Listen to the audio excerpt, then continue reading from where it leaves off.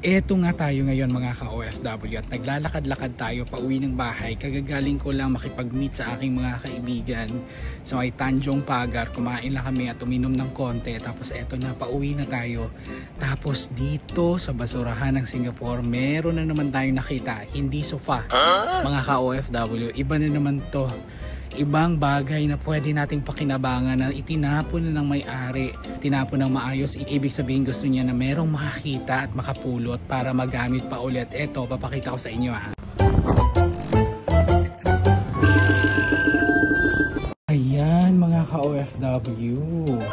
Itong kutsyon na to, tingnan nyo malinis pa mga ka-OFW. Tingnan natin kung merong surot. Kasi yan yung komento ng iba nating mga kababayan. Baka may surot na daw yan. Ito walang surot mga ka-OFW. Ito pa, tingnan nyo yan. Dito sa likod, maayos na maayos. Meron lang konting mga dumi-dumi dyan, tinta at ayan. Pero maayos pa mga ka-OFW. Ayan, tingnan nyo. O, ba? Diba?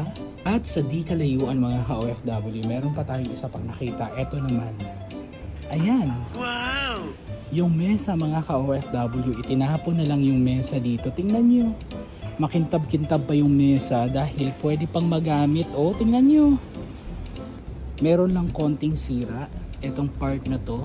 Sira lang yan. Tingnan nyo. Pwede pang magamit. Ayan o, tinapon o, katabi ng basurahan. ba?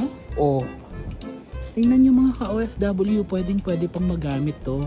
In good condition pa tong mesa na to mga ka-OFW. Sayang ano. Kung malapit lang talaga sana ang Pilipinas. Nako, pwedeng pwede to sa bahay. O, ba diba? Sabi ko nga sa inyo, wala tayong problema. Gumamit ng mga pinaglumaan ng iba. Ito itinapon ng maayos.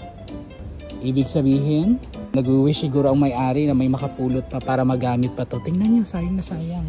So, ito yung mga sinasabi natin mga OFW. Ito mga ganitong klase ng bagay na itinatapon dito ng ating mga kaibigang Singaporean. Mga gamit na pwede pa nating pakinabangan. Sayang kung malapit sana talaga ang Pilipinas.